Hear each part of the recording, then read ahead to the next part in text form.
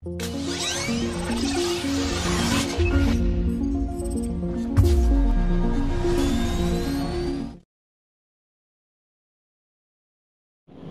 memang, dia, memang dasar DAP tak boleh nafikan. Dia dasar dia uh, ke, kesamarataan. MBN punya dasar ialah keadilan sosial. Dua benda yang berbeza.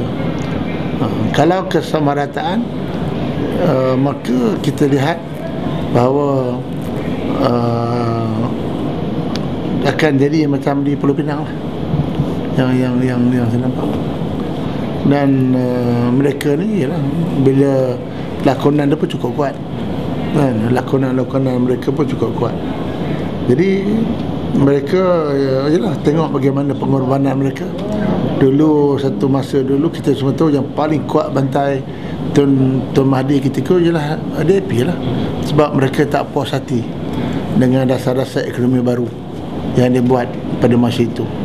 Jadi hari ini bila dia bersuju dah cium tangan Mahathir pada mana saya lihat uh, mereka sanggup uh, gadai prinsip perjuangan tapi saya tak nampak dia akan gadai prinsip perjuangan.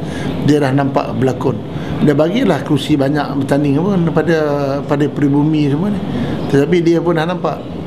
Bagi berpuluh tu dia boleh tengok. Macam mana uh, parti yang baru ditubuhkan boleh dapat kerusi majoriti yang banyak untuk bertanding? Sebab Selangor bersama.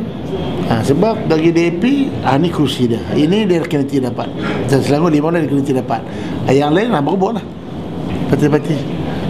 Ha, yang parti-parti based on uh, Malay uh, parti.